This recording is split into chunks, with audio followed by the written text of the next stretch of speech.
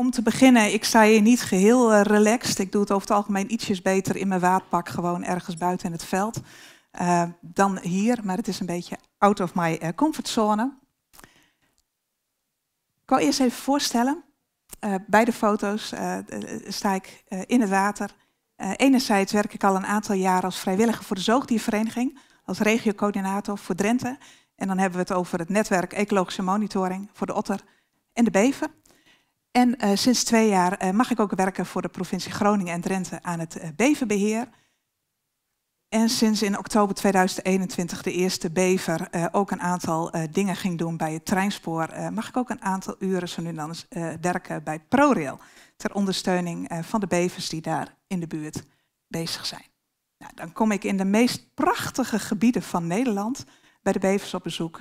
Uh, maar ik heb ook het geluk om echt door de meest ranzige sloten heen te lopen. Uh, waar bevers ook gewoon prima uh, huishouden. Dat kan ook gewoon midden in de stad zijn. Ja, bevers vormen weer het landschap. En die gaan niet voor half werk. Ja, we zagen zo net al een foto voorbij komen en ik dacht meteen, hé hey, joh, de bekende Dam. Nou, dit is er ook een. Dit is tegenwoordig ook gewoon Drenthe. Drenthe die we kennen van de Hunebedden. Uh, we hebben tegenwoordig ook uh, dit soort bouwwerken. dit was vorig jaar weer de zoveelste droge zomer op een rij. bevers zijn gaan bouwen. Zijn ook eerst nog niet gestopt met bouwen. We hebben ondertussen een beverdam over een lengte van zo'n 40 meter. Met toch ook wel een hele nette opstuwing daarachter. Ja, half werk. Daar ging de mensheid ook niet voor. En nou hebben we allemaal het eten gelukkig al op. Want er werd mij al wel gewaarschuwd dat het een zeer ranzig en dat het toch eigenlijk wel niet kon, dit uh, plaatje. Het zijn uh. En ik uh, klik even weer door naar de volgende, want ik wil er ook geen ruzie over hebben. Maar als we het hebben over de bever, dan hebben we het uit over, over een uitgestorven diersoort. Maar we hebben het ook over een bever die de maximale bescherming geniet. En dat is natuurlijk niet zonder reden. Wij zijn als mensen in staat om volledige diersoorten de kling over te jagen. Nou, net die beverstaten, dat heeft eigenlijk te maken met een van de eerste uitsterfgolven van de bever in Europa. Dan hebben we het al over de middeleeuwen, waarbij eh, vlees eten tijdens de vaste tijd niet mocht. En er een paus was die op een gegeven moment bepaalde dat we wel beverstaart mochten gaan eten. Want die bever zwom in het water. En die staart die leek, ook nog wel eens een beetje op een vis. Uh, eigenlijk dankzij die uitspraak zijn er al ontzettend veel bevers bejaagd hier in Europa. Ja, uh, dit plaatje heeft misschien enerzijds helemaal niks met bevers te maken, zou je denken. Maar Google voor de geines, hoeveel hoeden had Napoleon? En dan kom je uit op ongeveer een aantal tussen de 120 en de 160 hoeden. Dan hebben we het over één man, elke hoed een bever. Rond die tijd hadden alle hooggeplaatste heren hadden allemaal hoeden van beverbacht. We gaan al terug in de tijd van de goudoogst, waarbij op een gegeven moment een ontwerper notabene bedacht dat die goudmensen uh, die aan het graven waren wel heel veel baat hadden bij hele goede waterdichte hoed. Waarbij het ook nog heel handig was dat je die hoed kon kantelen en dat je dan ook nog een waterdichte emmer had. Er is geen enkele diersoort die kwalitatief zo als de bever.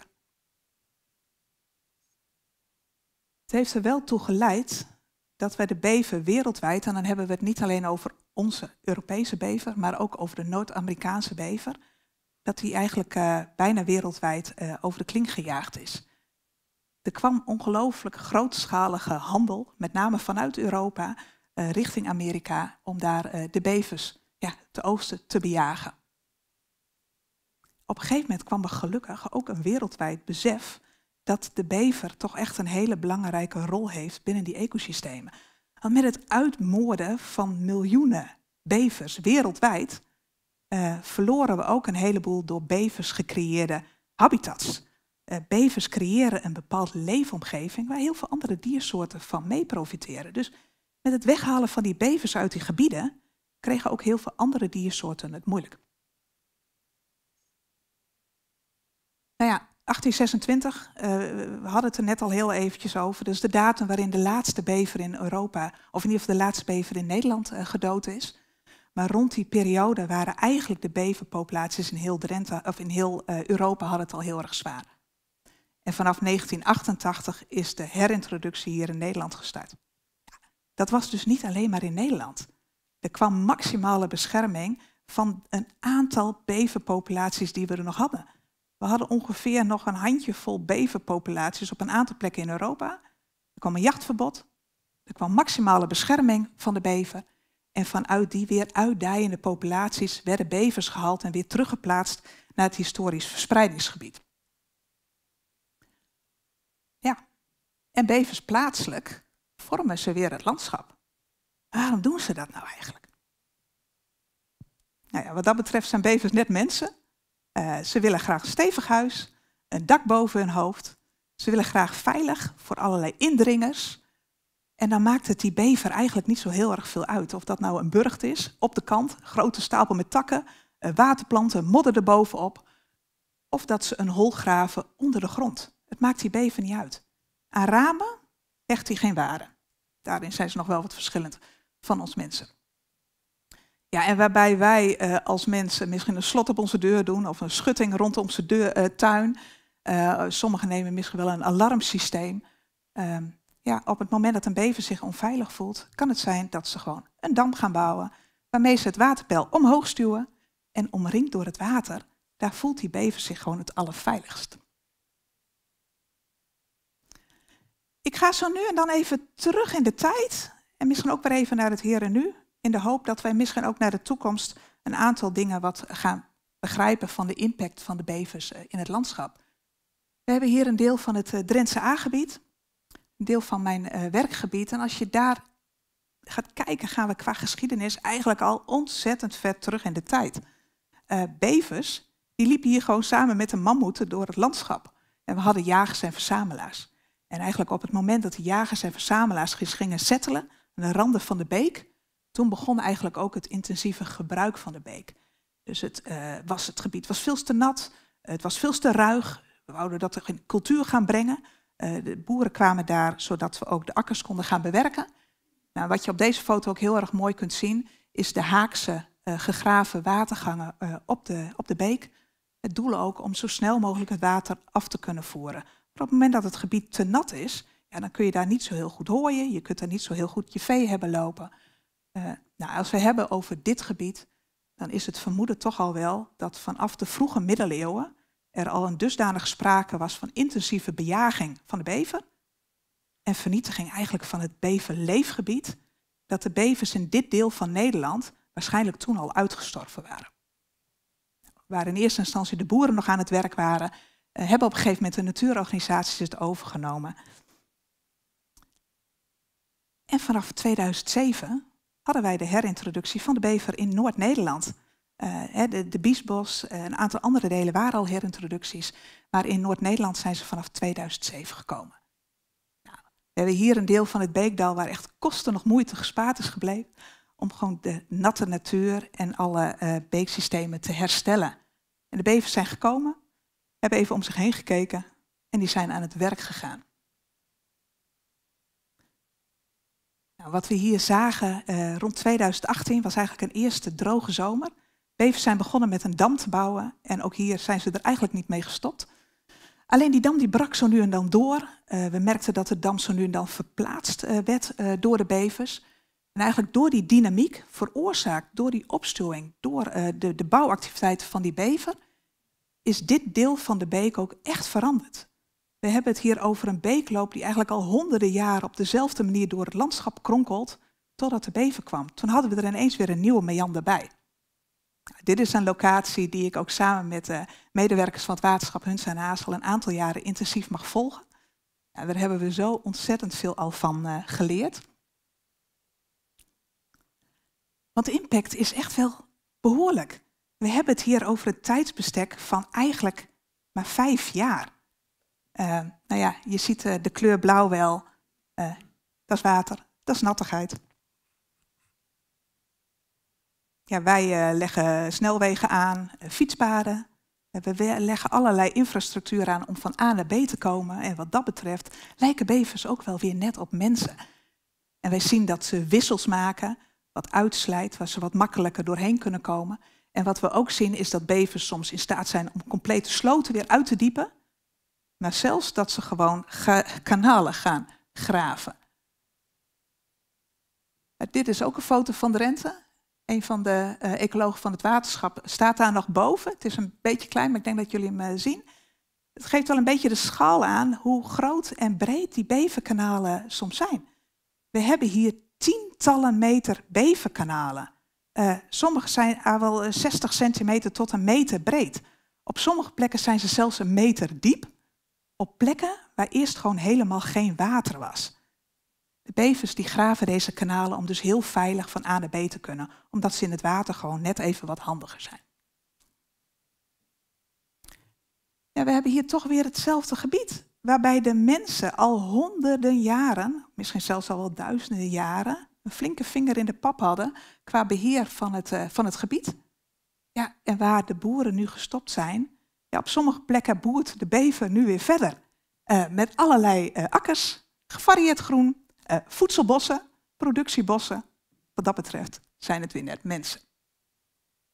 Nou, en wat je eigenlijk, deze uh, foto 2023, ja, dat is hetzelfde gebied, maar met name door al die gegraven beverkanalen zie je dat er weer allerlei zijsplitsingen op de beken in het landschap komen. Nou ja, in tegenstelling tot wat toch, toch steeds wel best wel heel veel mensen denken, bevers eten niet alleen maar bomen. Uh, het is zelfs zo dat het grootste gedeelte van het menu helemaal geen bomen zijn. Bevers zijn grote grazers. En als je rond deze periode ook rondkijkt in een beverleefgebied, uh, ik krijg ook wel eens te horen van, ah joh, die bevers die zitten hier alleen maar in de winter. In de zomer zijn ze er niet. Dan trekken ze weg. Ik denk eerder dat het zo is dat ze omstappen op een ander menu en dat de sporen echt heel subtiel zijn. Dus ik, er zitten ongetwijfeld mensen in de zaal die heel goed zijn op de, op de diersporen. Misschien wel vanuit muskusrattenbeheer.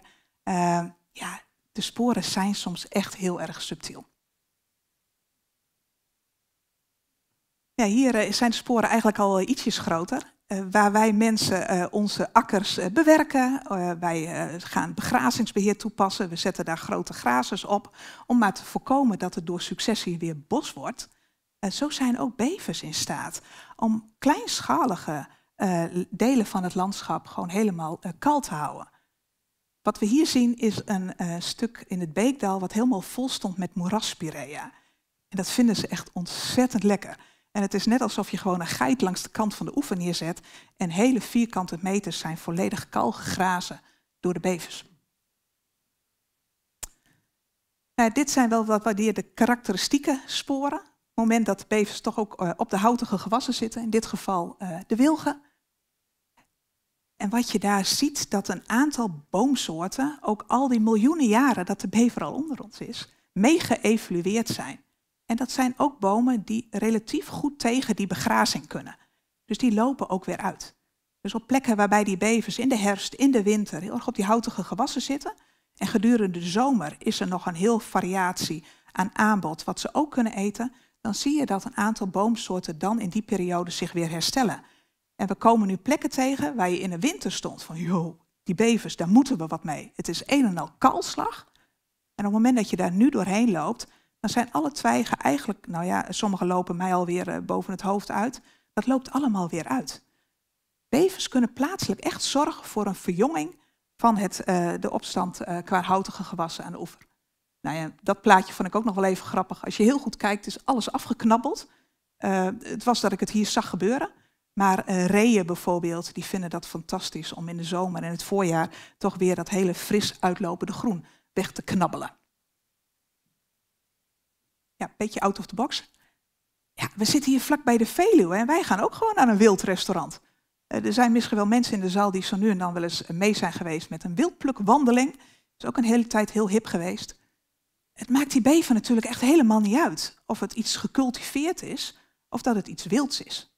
Eh, we hebben bevers bij ons die doen het echt fantastisch op suikerbieten, eh, graan en mais. Nou, dat levert soms dus ook wel eens een beetje een conflictje op. Ja, ga ik toch even een beetje de ecologische kant op. Staand hout leeft. Kijk, in een beverleefgebied gaat lang niet elke boom het redden. Uh, met name eiken bijvoorbeeld. Bevers zijn echt in staat om die barsten helemaal om weg te halen. Ook wel in staat om dit soort bomen op een gegeven moment om te gooien. Uh, maar eiken die lopen toch echt wel met heel veel moeite weer, uh, weer goed uit. En is het niet zo dat die, bever, of die eik ten onder gaat aan de knaagsporen, dan kan het wel zijn dat hij ten onder gaat, omdat hij soms bijna jaar rond ineens met zijn voeten in het water staat. Op het moment dat bevers hebben besloten om in de buurt van die eik een mooie beverdam neer te gooien. Nou, we mogen deze eik dus ook al een aantal jaren volgen. Uh, ja, ook dat. Ja, ik vind het echt fantastisch. Het is een knoet van een eik in een oude historische houtwal, precies op de kopse kant, meest dicht bij de beek. En uh, door eigenlijk de bevers uh, legde de eik het loodje. En wat we nu al zien is dat de barst deels los begint te laten. Daar komen allerlei insecten al achter. Op een aantal plekken begint het ook al wat los te uh, zetten. Daar kunnen weer vleermuizen achter gaan zitten. Daar komen weer de, allerlei insecten eten de vogels op af. de spechten kunnen daar weer gaten in gaan lopen knagen. Daar kan de boommarter weer in gaan zitten. Nou, eigenlijk rondom zo'n grote dode eik ontstaat allemaal nieuw leven. Ja, tandverzorging. Wij gaan regelmatig naar de tandarts. In ieder geval uh, mogen we hopen. Gelukkig worden onze tanden dan niet meteen geslepen. Zo heel erg hard hebben wij ze niet nodig. Maar die bever is dat echt noodzaak. Dus een bever, zijn tanden blijven altijd doorknagen. Op het moment dat hij dus ook geen bomen heeft om te knagen, en dan gaat hij misschien wel over op iets anders. Maar bevers moeten knagen. Goed gereedschap, is het halve werk. En wees nu eerlijk, hoeveel mensen kennen jullie, of hoeveel dieren kennen jullie die ook uh, eigenhandig luxe lingerie voor moeders te vrouw weten te knagen? Bevers kunnen dat. Ja, wintersongemak, of gemak. Uh, net als wij mensen houden bevers geen winterslaap. En wat we op een aantal plekken ook daadwerkelijk al met camera's hebben weten te filmen, is hoe bevers omgaan met ijs. En dat is echt fantastisch om te zien. Bevers zijn in staat om wakker te maken. Dat kunnen ze doen doordat ze aan de onderkant met hun stevige schedel tegen het ijs aanbeuken, net zolang tot het breekt. Of ze blijven er gewoon bovenop staan, net zolang tot ze door hun eigen gewicht door het ijs heen zakken. En op het moment dat ze erheen zakken, dan zien we ze dus ook inderdaad het ijs wegknagen, met het geluid erbij. Of we zien dat ze de ijsschotsen oppakken en opzij schuiven. En ze blijven maar rond zwemmen in dat wak, waardoor je dus uh, allerlei open ruimtes krijgt. Nou, we zien dit soort wakken vaak in de buurt van hun burcht. Want sommige bevers, ze doen het zoals we nu inschatten, niet allemaal, maar leggen ook wintervoorraden aan. En op sommige plekken zien we nu ook dat ze soms een verdieping maken in de watergang, al waar ze dan in de winter waarschijnlijk ook hun uh, voedselvoorraden neerleggen. Dus in de herfst, dan slepen ze een heleboel takken onder water, die prikken ze in de beekbodem, blijft het lekker vers. En in hun collectieve geheugen hebben we elk jaar grote zware winters. Uh, is dat niet meer heel erg zo, maar goed, die bever denkt nog wel. Op het moment dat er 20, 30 centimeter ijs ligt, wil hij nog steeds vanuit zijn burcht onder water bij zijn eten kunnen komen. Nou, op dit soort wakken zagen we dus ook uh, de otters omhoog komen. Die profiteren daar ook van. Ja, en die profiteren hier natuurlijk helemaal van. Uh, ook dit is Drenthe en we hebben onze eigen otter whirlpool. Uh, nou ja, waar we zien dat bevers in staat zijn om wakker te maken, creëren ze eigenlijk onbewust ook wel wakker uh, op de plekken waar de beverdammen zijn en waar het water over de dam heen stort. Ja, wij noemen dat een soort spoelkom wat er ontstaat. Uh, op deze plek in het Beekdal, deze kom is al meer dan twee meter diep. Daar kunnen we al niet meer staan. Nou ja, dat blijft constant in beweging en we konden heel mooi in de sneeuw zien dat de otter uh, hier nog zat te fourageren. Dit waren een van de enige plekken in het Beekdal waar de otter ook nog onder water kon terwijl de rest van de beekdal allemaal bevroren was. Ja, dynamiek, speels, soms ook wel een heel klein beetje onvoorspelbaar. Dit is weer uh, zo'n bevermeer. Ja, we noemen dat bevermeer dan inderdaad de opstuwing achter zo'n beverdam. En in het midden kun je precies de wilgerij zien, ja, is enigszins afgeknaagd, wat de oever was uh, van de beek.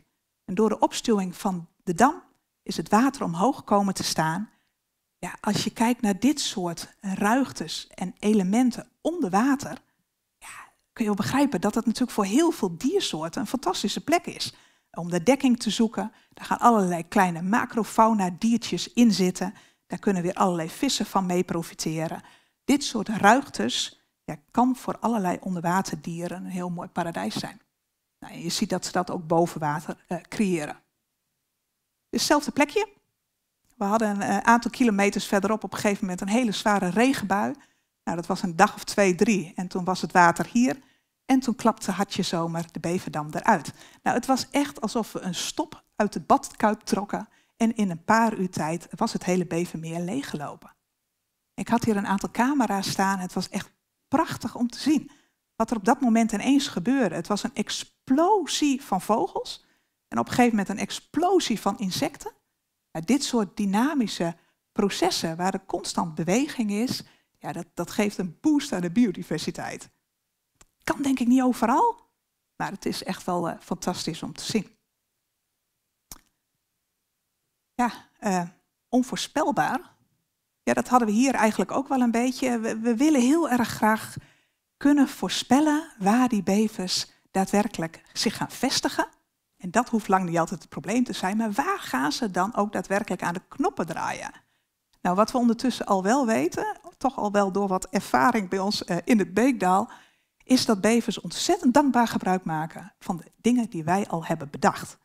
Dus waarbij bijvoorbeeld er vistrappen zijn aangelegd uh, door de waterschappen. Die zijn soms ook al als een soort fundament gemetseld in de beekbodem. Ja, dat is voor die bever fantastisch. De ondergrond ligt er al, hij hoeft er alleen maar op verder te bouwen. Dus uh, zo nu en dan loop ik ook wel eens met de ecoloog van het waterschap door het gebied heen. En dan vinden we weer een beverdam en dan tikt hij even met de stok. En dan hoor je tok tok, ja hoor, voor de drie. Ja, dat is toch blijkbaar voor die bevers heel erg, uh, nou ja, of dat dan toch een trigger is om op die plekken dan juist om die dammen neer te gaan leggen. Ja, en eigenlijk is deze beverdam min of meer ook door mensenhanden een beetje gefaciliteerd. We hebben hier uh, te maken met een heel oud cultuurhistorisch uh, landschap. Gaan we ook al terug richting de middeleeuwen. En daarbij, uh, het was natuurlijk een heel nat beekdal, is het nog steeds, maar dat was het vroeger ook. En daarbij hebben de mensen op een gegeven moment verhoogde zandruggen aangelegd in dat natte beekdal. Dat is aangeplant met hele mooie variatie aan uh, boomsoorten. En dat diende bijvoorbeeld als veekering, hadden nog geen prikkeldraad, uh, of bijvoorbeeld als erfgrens. En we zien op een aantal plekken in het landschap bij ons dat je echt een soort kamertjestructuur hebt, waarbij er om de zoveel meter een mooie houtwal haaks op de beek staat. Voor die bever is het natuurlijk geniaal. Je hoeft nog maar een dammetje van twee meter te bouwen en te onderhouden. En de hele lengte van die houtwal dient gewoon als beverdam. En dit is uh, benedenstrooms. En dit is de andere kant van de dam. Dus een van die kamertjes die, uh, is ondertussen omgetoverd tot een, een natte kamer. Dit levert soms best wel wat discussie op. We hebben het hier over een heel oud landschap. Waar ook heel veel mensen aan gewend zijn hoe het eruit ziet. Dit doet nog wel wat met de mate van beheer. Het beheer wat op sommige plekken al jarenlang op dezelfde manier gebeurt. Met bijvoorbeeld jaarlijks maaien en afvoeren. Op het moment dat iets een ja, een, een, natte plek gaat worden, of een moeras gaat worden, misschien een doorstroommoeras gaat worden, het doet wel wat met de aanzicht. Nou ja, waar wij aanvankelijk ons zorgen maakten over die natte kamer, die zorgen waren hier eigenlijk van korte duur, want we hadden weer de zoveelste droge zomer op een rij. Nou ja, ook op deze plek. En uh, ja, eigenlijk zitten we op dit moment alweer in dezelfde situatie, waarbij we te maken hebben met maximale verdamping tijdens het groeiseizoen en geen neerslag. Dus uh, dit deel van de beek uh, viel grotendeels droog, is op dit moment ook weer gaande. En de bevers zijn noodgedwongen vertrokken, een eindje verderop. En dat gaf voor ons natuurlijk wel een prachtige kans om even te gaan kijken hoe die beverdam nu eigenlijk opgebouwd was. En wat ik jullie wil laten zien is uh, dit. Ja, bevers laten mij gewoon echt altijd weer verwonderen. Elke week weer. er was hier namelijk niet sprake van één dam, die dam die brak zo nu en dan toch ook wel door. De bevers hadden ongeveer 30 meter verderop ook nog een dam gebouwd. Dat was zeg maar de nieuwe dam. En door die nieuwe dam stuwde die het volledige water tot voorbij de burcht op. En wat de bevers nu in de oude dam gemaakt hebben, ze hebben een perfect zwemhol, of eigenlijk een zwemgat geknaagd, waardoor ze dus vanuit hun burcht dwars door de dam heen konden zwemmen naar een nieuwe dam. Ja, verbinding maken van A naar B. Zijn bevers ontzettend goed in. En bevers niet alleen. Daar zijn wij ook heel erg goed in. Uh, het is al heel eventjes onder de aandacht gekomen. Dus ik weet niet of er... Ja, er zitten wel mensen van ProRail, die zie ik al een beetje glunderen. Uh, ken je Pappenheimers? Uh, dit was de allereerste bever die het voor elkaar kreeg om het treinverkeer richting Noord-Nederland stil te leggen. Ehm, en ook deze maakt dankbaar gebruik van de duikers. Duizenden kilometers watergangen in Nederland staan met elkaar in verbinding met duizenden duikers. Deze bever was op zoek naar een nieuw leefgebied, vond een mooi boerenslootje, legde daar een beverdam in, stuwde het water 70 centimeter omhoog en door die opstuwing kreeg hij deze duiken van 55 meter volledig onder water. En daardoor kon hij supersnel van de ene kant van het spoor naar de andere kant van het spoor en had hij eigenlijk met één ingreep zijn leefgebied helemaal verdubbeld. Ja, ook dit is een duiker. Je kunt natuurlijk je leefgebied verdubbelen, maar je kunt ook je leefgebied optimaliseren door middel van die duikers. Waarom zou je als bever nog moeite gaan doen om een knoert van een beverdam te bouwen, als je gewoon op een aantal hele strategische plekken gewoon de duikers dicht kunt drukken? Of je gaat gewoon met hele stuw aan de gang.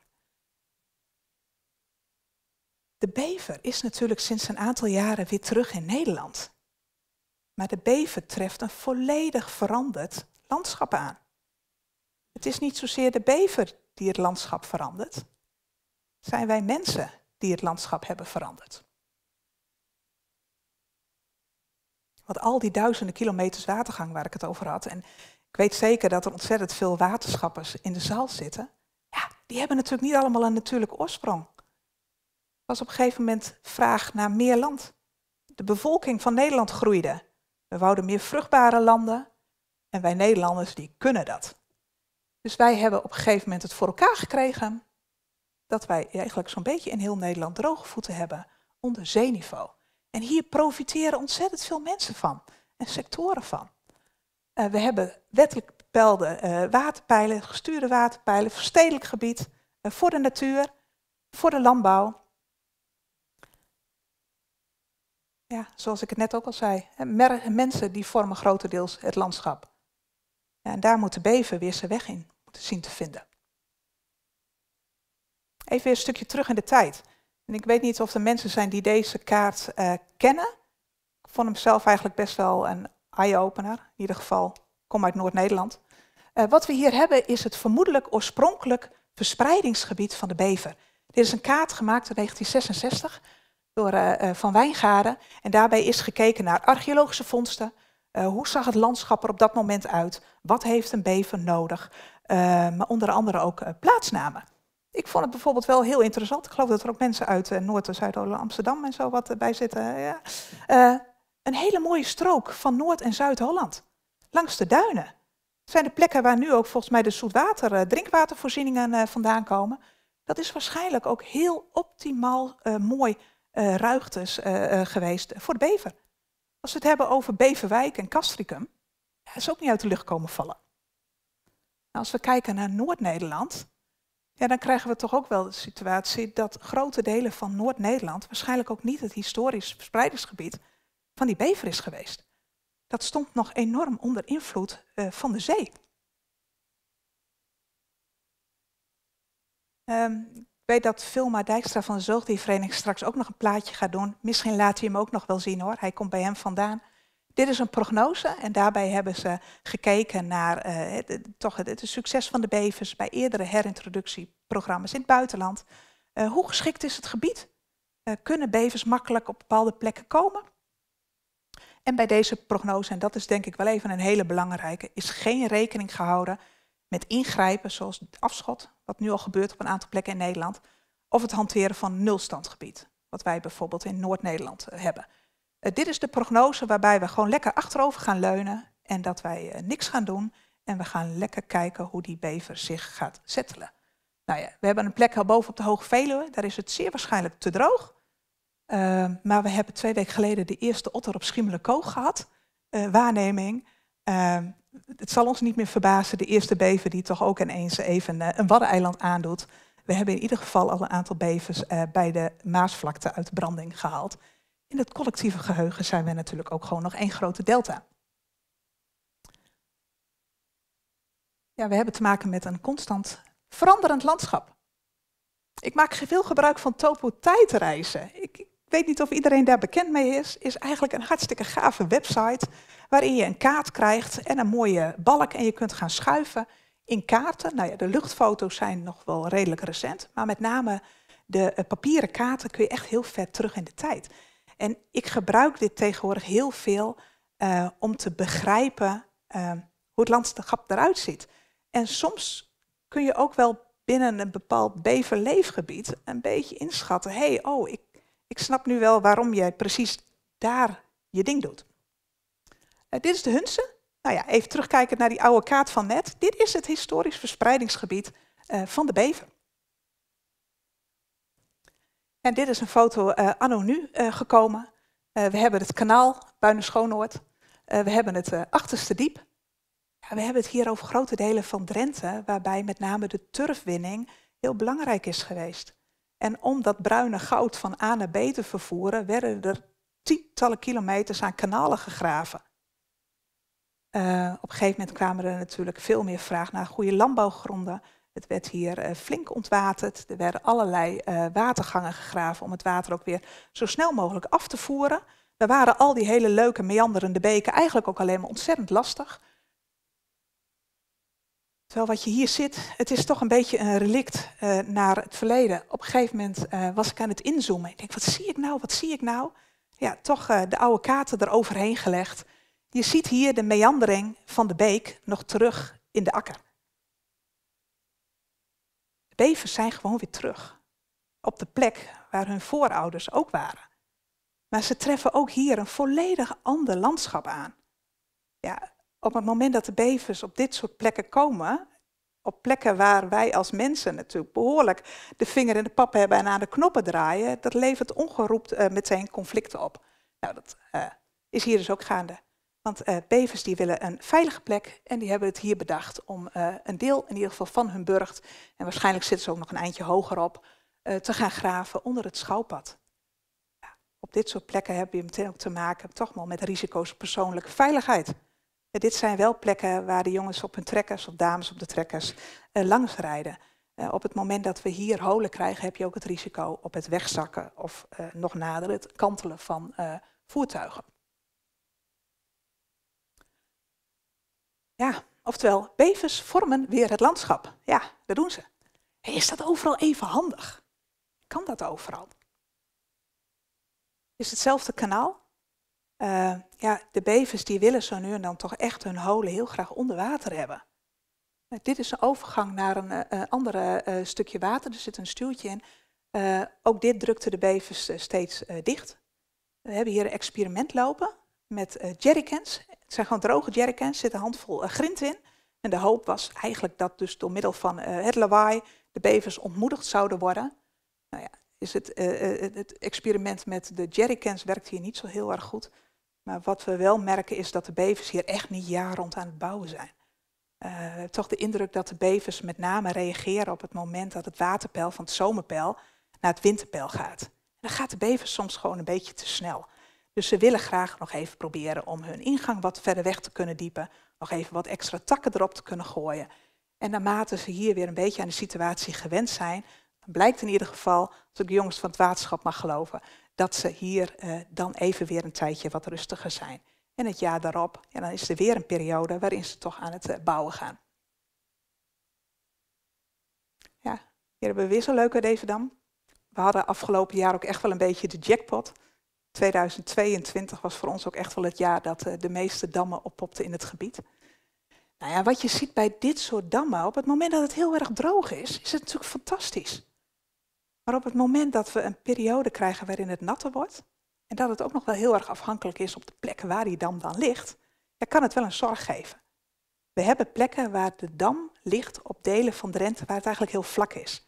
En waarbij de impact van die opstuwing soms wel kilometers verderop nog meetbaar is. We willen heel erg graag draagvlak houden voor de bevers. Maar op het moment dat de kelders blank komen te staan in stedelijk gebied, ja, dan wordt het wel eens een beetje ingewikkeld. Ja, Nederland is niet zo'n heel erg groot land. En ik denk dat de invloed van de mens op dit moment zo'n beetje op elke vierkante centimeter voelbaar is. Dit is ook weer het Drentse aangebied. En we hebben het vandaag ontzettend veel over waterveiligheid, over graven in keringen en dijken. En ook ik was iemand die het bordje omhoog hield van ja, nee, graverij en dijken kunnen we gewoon niet accepteren. Maar ik vind dit een ontzettende lastige.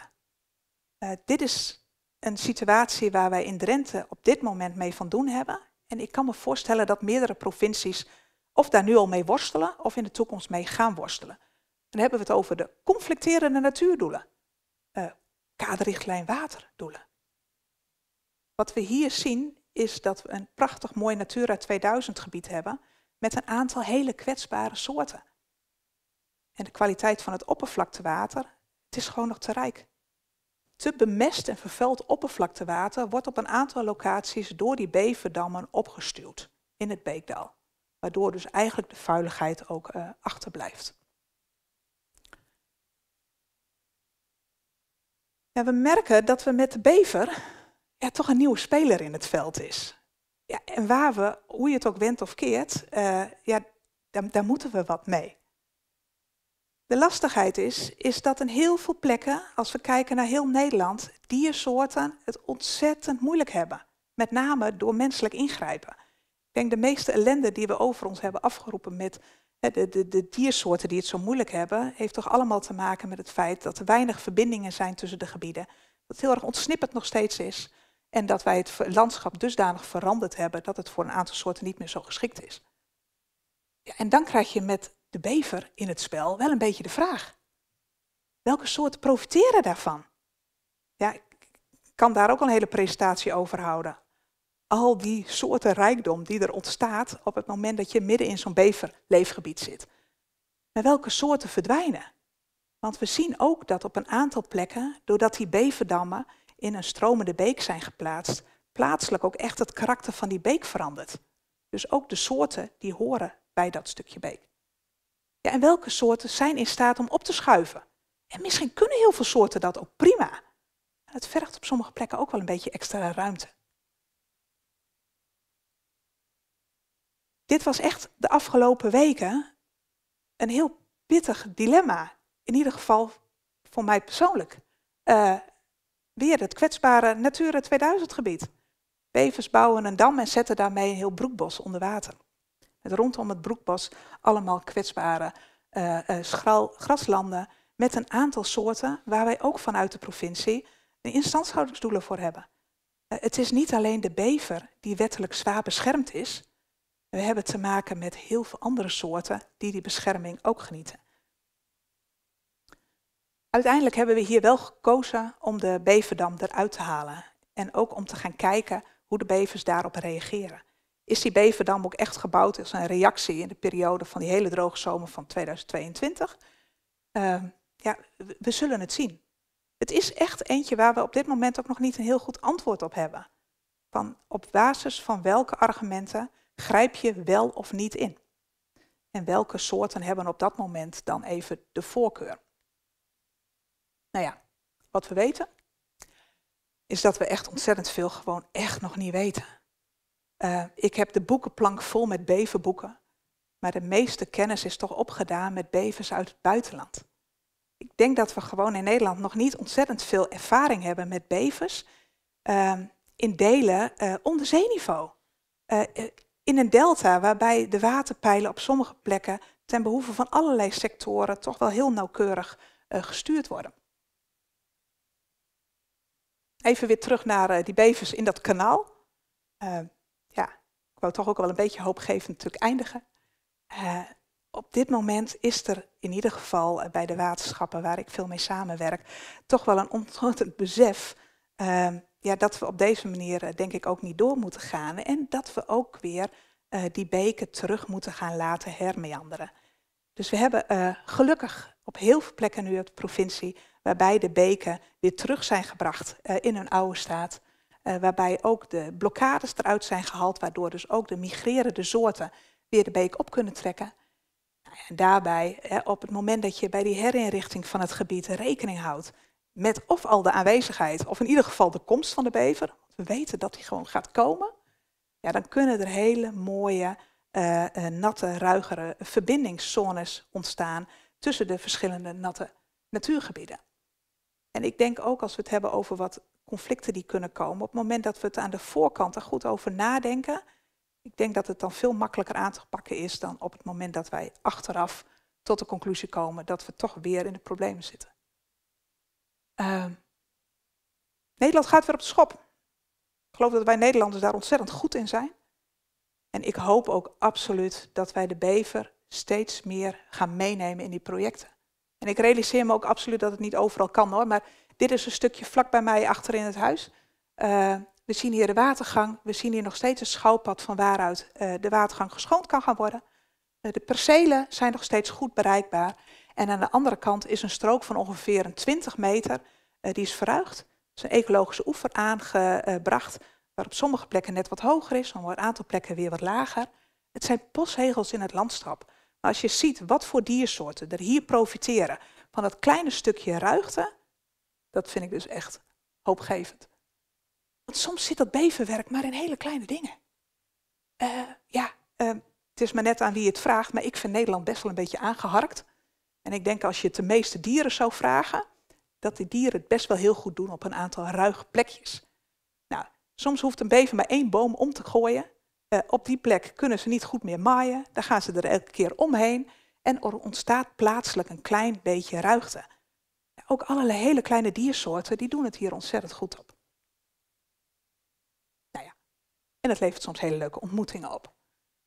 Ik ben wat dat betreft wel ontzettend van de zoogdieren en niet zozeer van de vogels. Maar uh, hier was ik toch wel enigszins uh, op slag verliefd, alleen al om de snorharen. Misschien dat een aantal hier in de zaal. Ik, ik wil vingers. Is iemand die dit herkent? Roept u maar? Ja, ik had ze alleen maar gehoord, maar nog nooit gezien. En ik stond hier serieus gewoon op twee meter afstand naar te kijken. Hij vertrouwde waarschijnlijk ontzettend op zijn camouflage. Rond deze periode was het één grote paarse vlakte van de heide in Drenthe. En alle groene graslanden, nou ja, was allemaal groen. En de Beverburgt was de enige plek waar deze nachtzwaluw nog overdag in de nodige camouflage kon zitten. De bevers doen ertoe. En we hebben het er inderdaad vandaag gelukkig al wel meer over gehad. En dat niet alleen om wie ze zijn, maar ook om wat ze doen. Um, ik denk dat de bevers, uh, die zijn natuurlijk door menselijk toedoen uh, zo'n beetje wereldwijd uh, van de aardbodem afgeveegd. Ik denk dat wij het als mensheid toch ook wel een beetje als een verplichting moeten gaan voelen. Dat we ervoor zorgen dat er in Nederland, of in ieder geval wereldwijd ook, een gezonde genetische populatie weer kan zijn. Daar moeten we keuzes in maken. We moeten met elkaar gaan zeggen van ja, daar gaan we voor. Dan is het denk ik mogelijk. Maar dat betekent inderdaad wel dat we met al die partijen moeten gaan samenwerken. Gelukkig zitten we op dit moment met een heleboel partijen hier in de zaal. Dus dat is mooi. Dat was hem.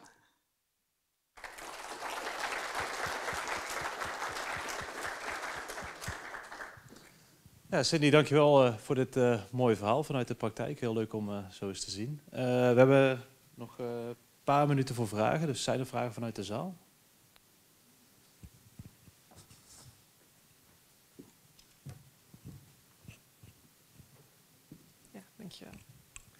Ik had een uh, vraagje. Je gaf aan dat uh, de bever dus in het Natura 2000 gebied een deel uh, onder water had gezet, waar ook beschermde soorten broeden. Um, en dat jullie de keuze hadden gemaakt om die dam weg te halen. En op basis waarvan hebben jullie die keuze gemaakt? Welke afweging hebben jullie gemaakt? Um, nou ja, met name dus inderdaad op die conflicterende plekken, waarbij. Um, nou, ik, ik, denk dat je het inderdaad ook wat groter uh, moet zien. Dat wij merken dat op een aantal plekken de systemen gewoon nog niet robuust genoeg zijn. Dus er wordt op dit moment heel erg geïnvesteerd om die systemen robuuster te krijgen. Alleen dat is op dit moment nog niet zo. Dus er zijn allerlei vegetatietypes, ehm, ja, andere soorten die, waarbij vanuit de provincie er ook instandhoudingsverplichtingen zijn. En dan is het inderdaad wel een beetje de vraag, waar kies jij voor? En dat is, uh, hè, we hebben natuurlijk de bever als beschermde soort, maar we hebben ook de, de, de kwetsbare habitattypes als soort. En daarbij is het, en ik denk dat dat ook wel een beetje het, dilemma is waar ik zelf op een gegeven moment ook in zit. Van, goh, het heeft heel veel ook te maken gewoon met de kwaliteit van het oppervlaktewater.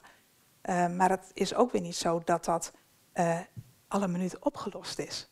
Dus op een aantal plekken ehm, ja, is het nu misschien ook wel een beetje bepaalde keuzes maken in de hoop dat door alle herinrichtingsplannen en in de hoop dat op een gegeven moment bijvoorbeeld het oppervlaktewater weer een stuk schoner wordt, uh, dat we dan meer achterover kunnen gaan leunen, omdat daarmee uiteindelijk het systeem ook robuuster wordt. En we zien nou dat er plekken zijn, daar is het systeem gewoon echt nog niet robuust genoeg. En waar kies je dan voor? kiezen wij dan voor de bever als uh, wettelijk beschermde diersoort? Uh, ja, uh, oké, dat is natuurlijk heel zichtbaar, heel aaibaar. maar het kan wel zijn dat dat ja, in conflict komt met andere soorten die ja, eigenlijk onze bescherming net zo goed nodig hebben. Ja. Bedankt.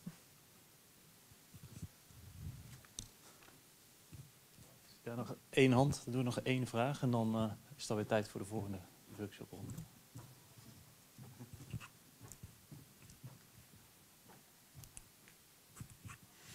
Hoi. Um, het Drentse A-systeem heeft als beeksysteem ontzettend last van droogte eh, de laatste jaren. Zie je dan ook een verandering in het gedrag van die bevers dat, eh, eh, je zei net, ze gaan soms een tijdje weg, komen ze weer terug. Maar er zijn ook plekken waar ze verdwijnen en niet weer terugkomen. Of waar de droogte zo'n impact heeft.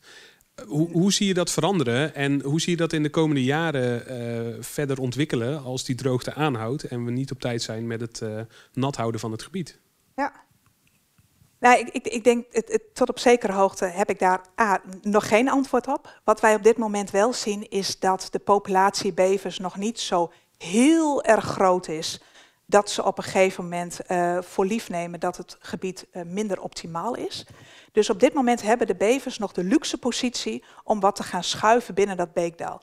Dus inderdaad, op de ene plek zijn ze noodgedwongen verdwenen, of in ieder geval tijdelijk verhuisd. Maar als je kijkt naar op dit moment de grootte van de territoria, zitten we ongeveer op een 3,5 kilometer per territoria. Dus binnen dat gebied is er vaak wel een plek waar ze dan wel weer kunnen gaan zitten. Dus we zien dat je in een territorium soms wel drie of vier uh, burglocaties hebt, wat behoort tot dezelfde beverfamilie. En naarmate op een gegeven moment de populatie gaat groeien, uh, zien we ook wel dat dat wat meer in elkaar gaat zitten. Uh, wij zien op dit moment ook plekken waarbij de bever niet eens meer in een burcht of in een hol zit, maar gewoon in een leger. We hebben dit jaar zelfs het eerste jong gehad, wat zeer waarschijnlijk gewoon in een leger geboren is. Dus je krijgt natuurlijk wel een situatie uh, waarbij bevers misschien andere keuzes uh, gaan maken. Nou ja, terugkomend op de nattigheid. We hebben eigenlijk 2022 als eerste jaar gehad waarbij we op een gegeven moment er 15 dammen bij hadden. Dat was voor ons hè, vanaf 2011, 2012 dat de bevers denk ik in de Drentse A zitten. hadden we niet te maken met dusdanige dammenbouw.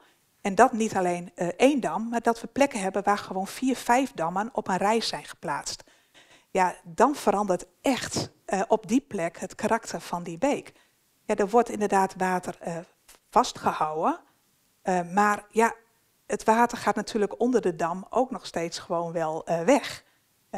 ja, het idee dat daar achter zo'n bevermeer ontzettend veel water wordt vastgehouden, nou ja, we, hebben er gezekerd en wel gewoon bijgestaan. Het is een paar uur en is zo'n meer leeg. Dan is het weg. Ja, ze houden ongetwijfeld het gebied nat hoor. En de plekken waar de dammen nu liggen, dat is met die droogte, is dat één oase. Alleen op het moment dat het een stuk warmer wordt, ook doordat het water te voedselrijk is, uh, ja, krijg je ook heel veel algengroei. Je krijgt een zoetstofpeil wat naar beneden duikt. Uh, Kijk, we kunnen een heel Walhalla-verhaal gaan houden op hoe mooi die bevermeren zijn. Maar op sommige plekken zien we ook dat het gewoon een groene soep wordt. Uh, ja, sommige soorten die vinden dat toch ook niet zo heel erg plezierig. Dus ook dat zijn keuzes die, je, die we moeten maken met elkaar. Ja. Nou, zeker.